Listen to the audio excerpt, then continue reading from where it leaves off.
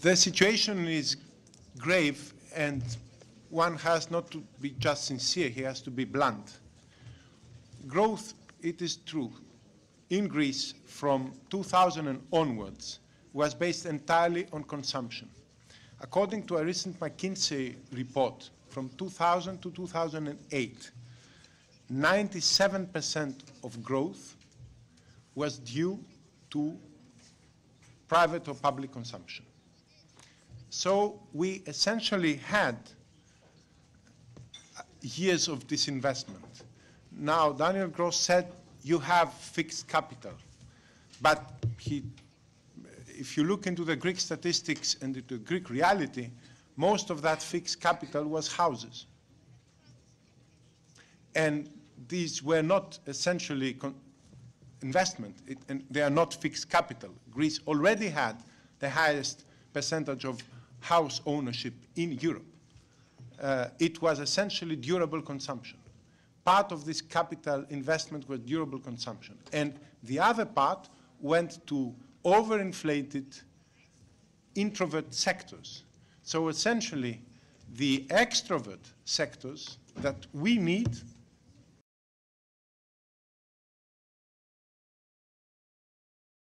don't have fixed capital at this moment. Also, our human capital seems, if you look into the statistics, to be in a bad situation. If you look into reality and take into consideration the black economy in education, which is huge, and the fact that Greeks have the highest percentage per capita in the world, together with Hong Kong, of Greeks studying abroad, many of them in the best universities in the world. It's a different issue that most of them stay out, uh, have the potential of a very good human capital. Thus, the real problem is the third one that Daniel Gros put up front, which is governance. I am not certain, and I've done a, a, a, a doctorship on corruption, that uh, uh, corruption is measured by Transparency International in an objective way.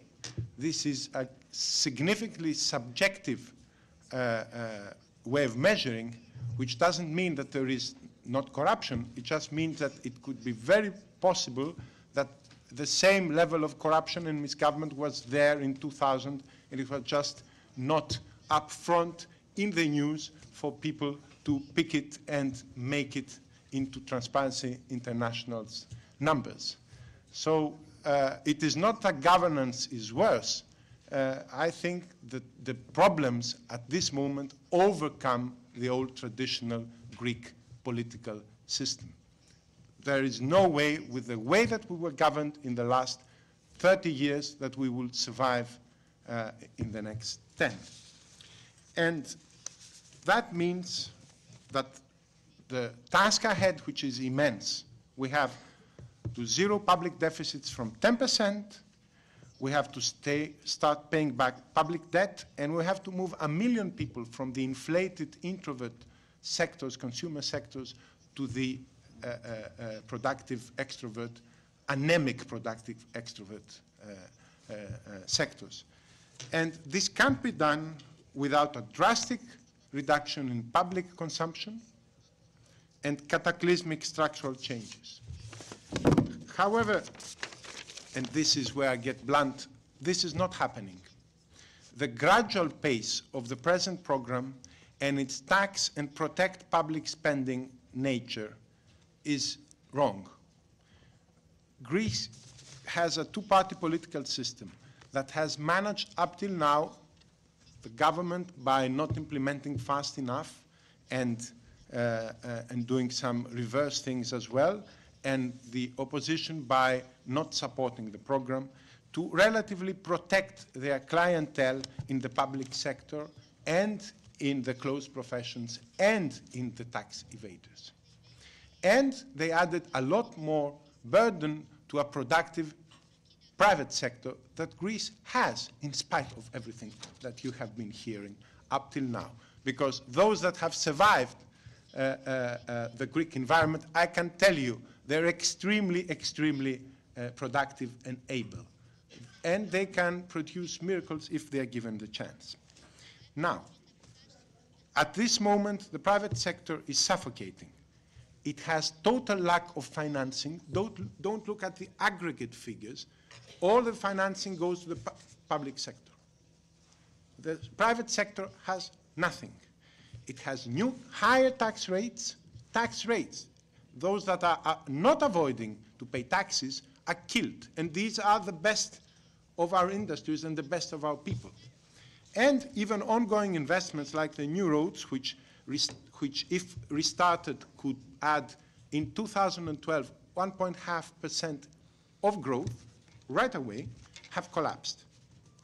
As ALDE, and I finish with that, we have proposed in June the only realistic alternative, and Dora Bakoyannis will represent you the main elements of this alternative, which is, I think, very important. A more drastic reduction of public expenditure, lower taxes, faster consolidation. We have taken, as a party, the political cost in Greece to propose 10 billion faster fiscal adjustment than the Troika has accepted. And more than that, maybe 15 billion or even more in additional spending cuts in the public sector. But we tell you, we cannot get out of this mess without more investment from Europe. The public sector cannot, is not investing.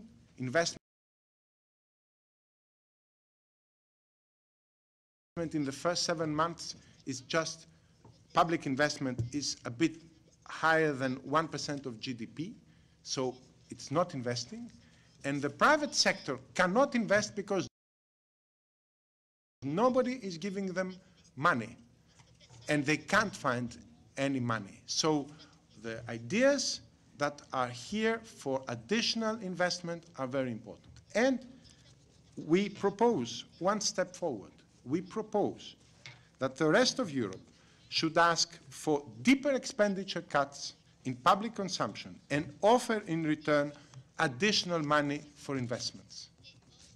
And this can and should be done automatically to remember the, the governance package, with part of the installments from the European loans to be earmarked for investment only. And the plan cannot succeed unless it stops promoting consumption by the least productive sector in Europe, which is the Greek public sector, and start promoting investment and survival of the private sector, which in the end is going to pay back the loans that Greece owns.